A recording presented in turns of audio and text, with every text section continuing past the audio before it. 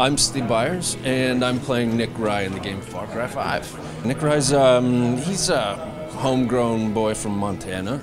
He's a, he's a lifer there, you know. He's always he's always thought his life was going to be pretty ordinary, and he was okay with that.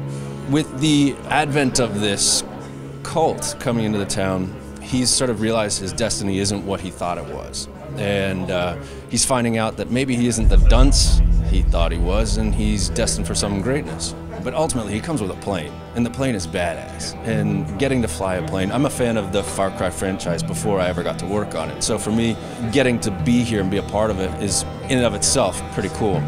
But flying a plane in Far Cry is just like icing on the cake. Fucking hey, buddy. Love that you played Nick.